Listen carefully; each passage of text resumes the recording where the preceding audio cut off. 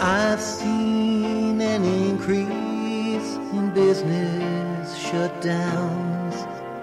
There's Holden, Alcoa, and planes on the ground.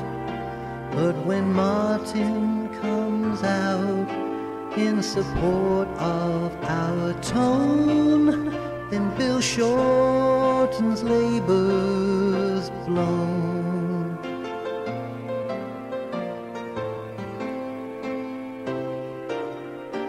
Unions no longer above scrutiny. Business is needing productivity. It's nothing that we hadn't already known. If we want to hang on to our homes.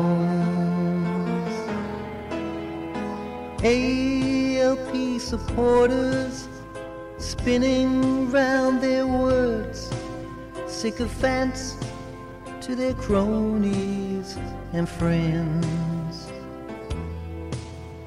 But when it comes to scolding our soldiers, just remember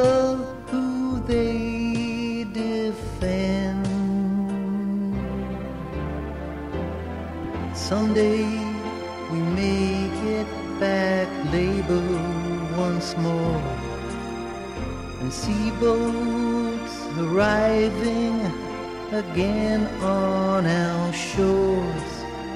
I'll realize something I've always known. They're not yet through trashing our home.